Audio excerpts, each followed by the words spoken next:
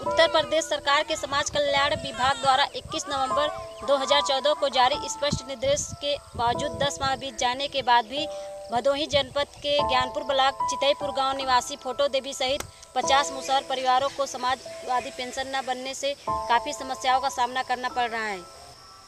दीदी आपको समाजवादी पेंशन बना बा कुछ नहीं।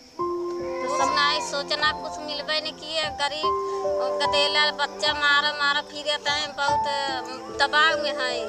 समाजवादी पेंशन न बनने से आपके का समस्या होता? बहुत तकलीफ़ होता है। गदेला बच्चा पेड़े रूखे चढ़ता है ले आवत है तो बेचत है तो खाता है।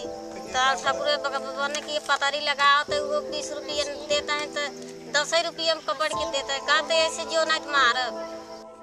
चचा आपको समाजवादी पेंशन बनावा? किछ नाही साहेब?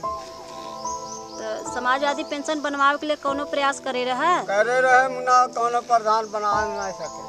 तो पेंशन न बने से आपके का तकलीफ़ होता? तकलीफ़ बहुत होता साहेब। का? पतरी दोना लगा के खाते हैं कमाते हैं। परिवार चलाते हैं खियाते हैं जियाते हैं खियाते हैं।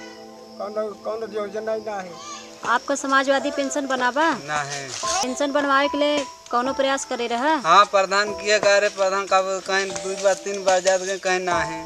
बनबे न करे। का करा जाए तब अपन लकड़ी न तोड़ के लड़किया बच्चा अपन खियावा जाता है पाला जाता है। और पढ़ाई लिए कब कुछ होबे ना करे कहाँ से लड़कियन के पढ़ाई लिखाई सकब खियाओ कि पढ़ाओ? मैं चाहती हूँ कि इन मुसहर परिवारों का समाजवादी पेंशन बने ताकि इनकी समस्या दूर हो सके। मैं वीडियो देखने वाले सभी दर्शकों से अपील करना चाहती हूँ कि ज्ञानपुर ब्लॉक के वीडियो, जिनका मोबाइल नंबर है चौरानवे चौवन छियालीस इक्यावन अट्ठाईस पर कॉल कर दबाव बनाए और हमारी मदद करें। मैं कैसा देवी उत्तर प्रदेश से इंडिया अनहर्ड के लिए।